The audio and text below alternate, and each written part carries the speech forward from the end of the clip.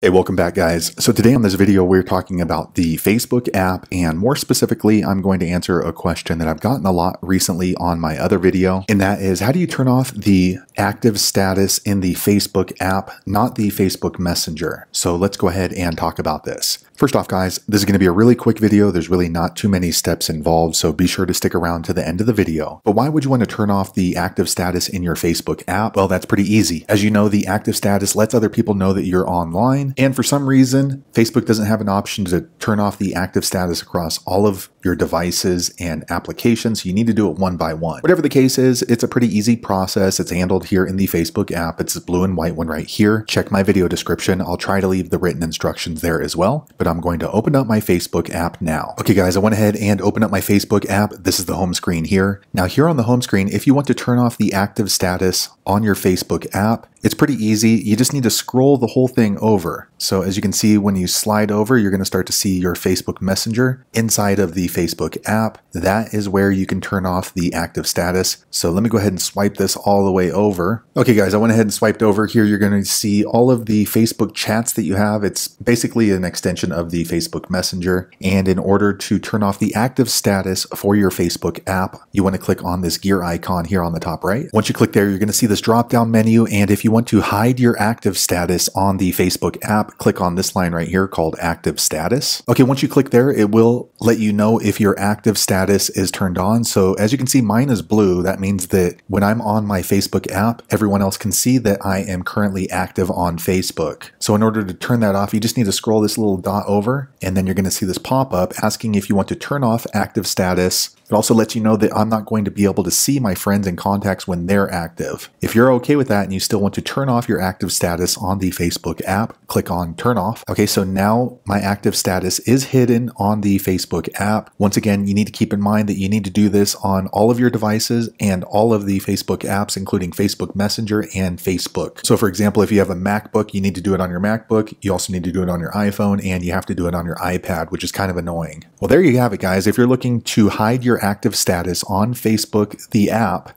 that's the easiest way I know how to do it. If you know an easier way, be sure to leave a comment below, let the rest of us know how you did it. Hopefully you found that video useful. If so, click thumbs up or maybe consider subscribing to my channel and I hope to see you on the next video. Thanks again for watching.